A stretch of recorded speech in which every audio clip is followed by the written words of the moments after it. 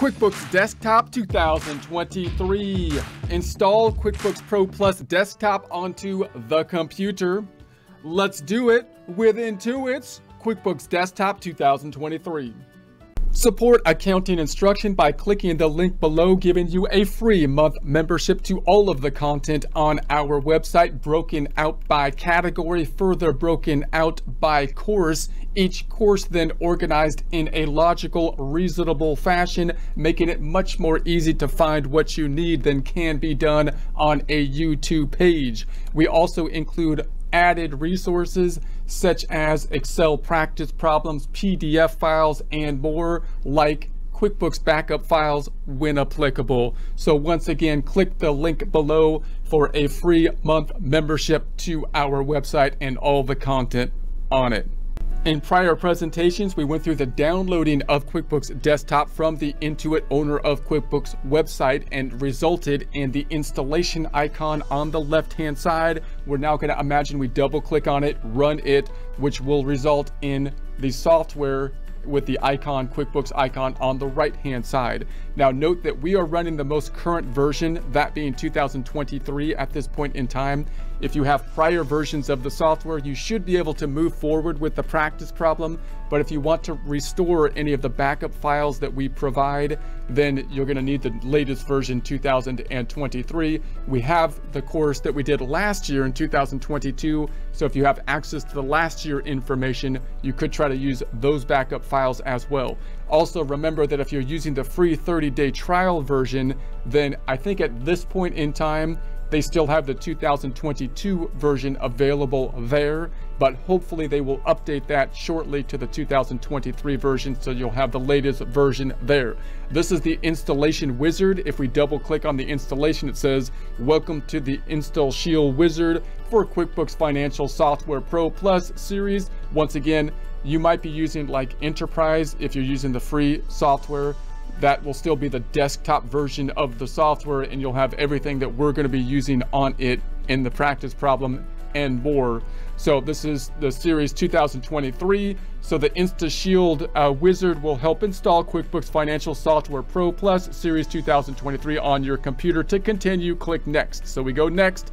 Then of course it's going to give us a little waiting screen.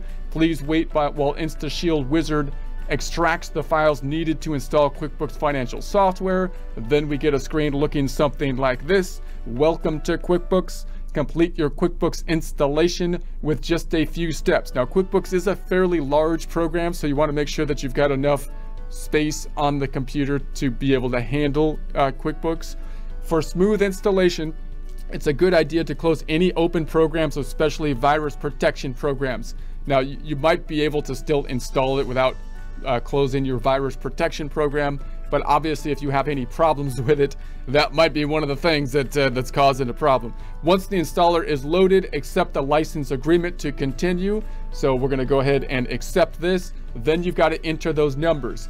Now, remember, there's three ways that you might have gotten the software. One, you might have used the free version of the software, in which case, hopefully they're gonna they're gonna give you the code for this or bypass the screen to be needing those codes. Two, you might be buying the software. If you buy the software, it will give you these license codes within the purchasing process and you want you want to be able to note that, write them down, save them in some way so that you can enter them when you install them or you can go into your account and within your account you can find these two numbers so that you can plug them in here or you're renewing the subscription because you had the prior version 2022 and now you're renewing it which again in that case you could go to the account if you don't have the numbers still and you should be able to find these license numbers to be plugging in here then we've got the options express recommended this is the installation types replace current version. Now, oftentimes that's probably what most people want to do.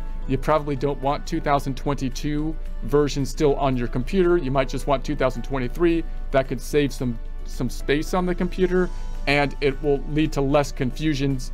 And then when you open up your data files, they will automatically be updated, kind of like a Word document is when you open it into a later version of Word, for example. It will ask you to update it, and that's usually a pretty smooth, easy, clean process. But remember that you cannot go from a 2023 backup file, for example, to be opened in 2022. And this was always kind of an issue when you're working like with clients, for example, if you're a CPA firm or something like that, you have to keep this in mind because if someone is using a older version of the software, you can upgrade their file to your file right when you when you use their software or you get a backup but you can't then use 2023 to give back to them if they have an older version of the software. And this is one of the reasons why quickbooks might try to be getting people really to, to get onto the subscription model so that everybody has the same version of the software. And you don't have that backup problem.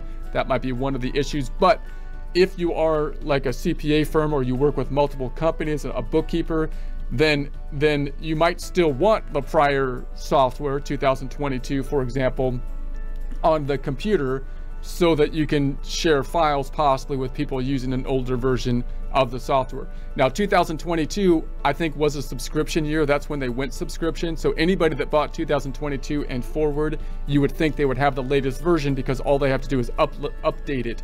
But they still could have older versions than that. 2021 I believe was the last year that you could have a, a single purchase, just purchase the one time and not have a subscription. So you might have people that still have those older versions of the software and you got to, if you're sharing data with them, be aware of that. But then you got the custom and network options, customized location, upgrade, and advanced server options. So if you're just putting this onto your individual computer, then you probably the express thing is the way to go, most easy way, most likely if you're working in, in a larger uh, business or with multiple partners or something like that, multiple bookkeepers, and you have servers involved, then you want, want to consult your IT professional to help you out with that. Then it's going to give you the ready to install. So the last check, you got QuickBooks Pro 2023. We are upgrading here from 2022 because we have, I have, this is the version that we're using meaning we're in the situation that we purchased it in the past on the subscription from the prior year, and now we're upgrading from the prior year version 2022 to 2023. It gives you a recap of your license and your products. It tells you where the location is, mapping it on your computer. So if there's any problems with it, that's where the that's where it's gonna be. And then it's going to say, welcome to QuickBooks Desktop. It goes to the installation. This does take some time because again, it's a fairly a large program QuickBooks is. So it gives you the, the little intro screen, organize and track your business finances as it uploads the process. And then again, once it's done, we should end up with the software here 2023. Now the 2023 software you see here is similar. It's like having the Word software rather than the Word documents. Remember, we can open up multiple Word documents, for example, with one Microsoft Word program. Similar thing with QuickBooks. We can open up multiple company files, but data files with the one QuickBooks program. Now, if you're buying it just for the one company that you are working with, you will then have the company files that you typically open. When you open up QuickBooks, and it'll try to open that company file just like when you open the Word document and it will then ask you you to update that company file to the latest version that you have now installed in this case the 2023 version so the next steps we'll, we'll be taking a look at is to make sure that we have an understanding of this is the installation software. This is the actual software equivalent to Microsoft Word, for example, in that example. And then we'll have other actual files that we will be opening similar to document files for Word. These will be the data files, the bookkeeping files that we will be using, the actual company files. And then we'll also think about the backup files, zipped files that can be used to restore.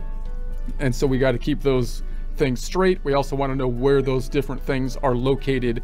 We saw the location of this actual file here when we went through the installation process. We also want to know where the location of our data file is, where the locations of our backup files are. We'll talk about them in future presentations. The end.